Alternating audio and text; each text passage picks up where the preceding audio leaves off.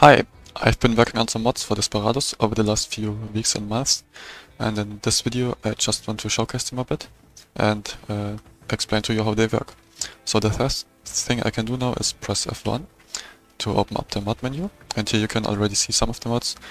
Uh, let's start with some simple things. So this mod just adds some small things like mute music in the background and start levels with highlights on and zoomed out.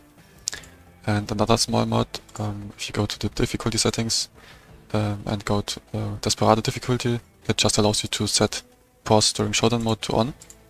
And for the others, let's first get into a level. So you can see we spawn with zoomed out and highlights on, and pausing works even though we are on Desperado difficulty. But for the much more interesting things, uh, we can have a look at this mod, Extended Cheats and it adds a lot of interesting stuff. So those are not that interesting. So here you can just enable cheats with one click and like infinite ammos. But this is much more interesting. So let's maybe get Doc first. And you can see cheats just work without any code or something like that.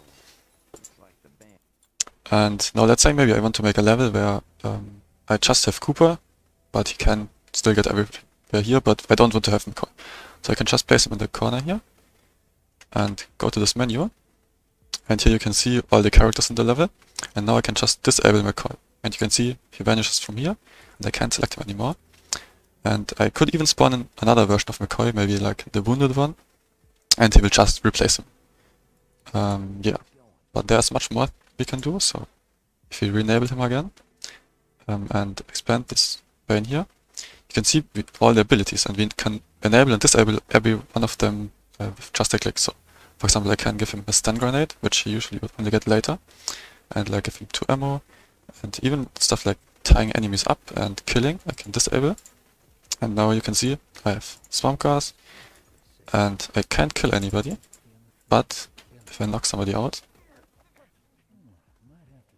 and try to pick them up, you can see he can't tie them up, he will just pick them up like Kate. Um, and yeah, you can also uh, change the health quickly, but that's not that interesting. And here you can also again uh, change pausing showdown mode inside the level. And this is also interesting. So if you make levels, you know maybe that the time always stays the same. So if somebody wants to do a speed run, they will already have all your setup time in there. But with this button, you can just reset everything. And now it's back to zero. Okay, um, then we can go to the next section. I will skip this for now. But here, we can again uh, change some stuff about abilities but more of the details. So for example, if we go to Cooper, you can see we can change his max health for each difficulty. So maybe let's give him 4 on Desperado difficulty. We can give him some kill cooldown and maybe uh, his coin range, this, this coin, we can set it to like 100 and press this button to apply the changes. And now if you select Cooper, you can see his coin has a massive range and it takes a really long time to, to arrive even. At some point it works. And if we uh, kill this guy here, you can see we have a kill cooldown now. And the UI for the health doesn't update immediately, but if we just save, you can see now he has 4 HP. And um, of course you can do the same thing for all characters. Uh, and this UI is maybe not the best, but um, here you can also reset everything to the default values. So this is just, um, is it not working?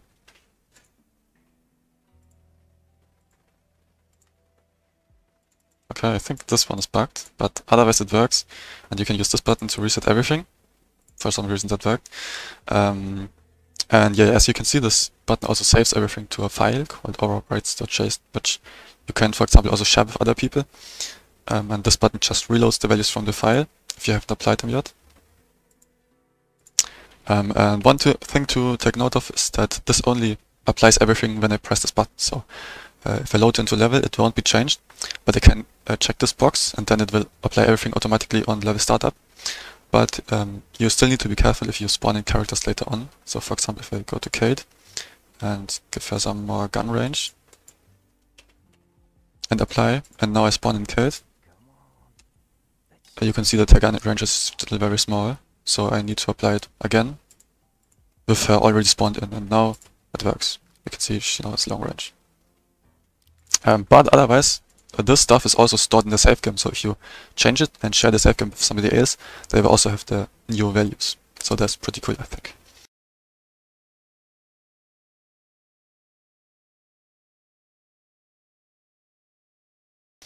Um, okay, I think, uh, yeah, there's still this left that's really a bit weird leftover stuff, but basically it allows you to um, have Hector's cops throwing knock out more than one person.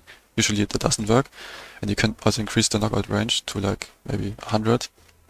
And um, if you now take Hector and pick up somebody and maybe put him here. Oh, that was not a good idea. Uh, let's get some other body.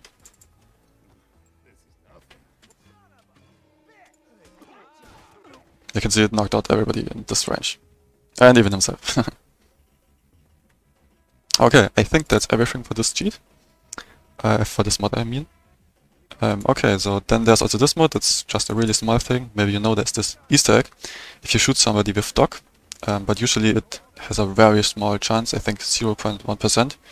But with this we can set it to something higher.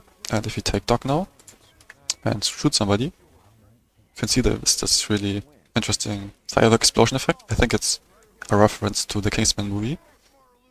And yeah, then this is maybe not so useful for most of you, but it just shows you all the deaths you still need to kill for a mission. So you can see the uh, one person here I already killed uh, at some point before, so he's not on the list anymore. But everybody else, um, yeah, maybe I, if I just have one person missing, you can see them here. Uh, then there's this mod, it's just a weird little fun thing. So um, as the name implies, it changes Cooper's gun to work a bit more like in Desperados 1. So if we enable it, we can set his ammo, and he now has a reload cooldown and a cooldown between shots. And if I take Cooper now, and maybe give him his guns first. um, and now, uh, if I go here maybe and shoot somebody, you can see I can shoot again. But if I use up all my shots, I have a long cooldown now. But it reloads, um, so I get my ammo back. I have basically infinite ammo. Okay, let's maybe not die. Okay. Um, that's this mod. Um, this already talked about. And this is also quite interesting, so maybe if you made some levels with the new cheats, you know that's not that, uh, not that user-friendly, but with this you get a new menu with two buttons you can configure here. If I press F2, I get this uh, level editor menu and I can search for some people, for example, Frank. I just click here. Now I can use F3 to spawn in Franks. And it's really easy to spawn in multiple. And um, I, I, you can see I can also favorite something. So for example, I can favorite this and this. And now it's always at the top here. And remove it again. And there's also one other little feature. Uh, maybe I will add one in the future, but for now, uh, if you spawn a level end trigger, you can see you can select who can use them. So by default, uh, everybody can use them. But maybe I only want to have McCoy be able to use them. So if I do this now, you can see I can use it with Cooper. But if I bring in McCoy, he can enter level. And yeah, I think that's uh, everything so far. Uh, if I will make another video, I think it should already be up if you see this, uh, where I explain how to install those mods. It's really not that hard. Um, and yeah, if you have any questions or problems, just ask me on Discord or maybe in the comments or something like that. Um, and also if you know some programming yourself, you can also ask me, um, maybe I will make some tutorials in the future on how to do some mods yourself, because it's really also not that hard. Um, and yeah, maybe you can also do some other cool stuff. Okay, I think that's everything for now, so have fun and see you later.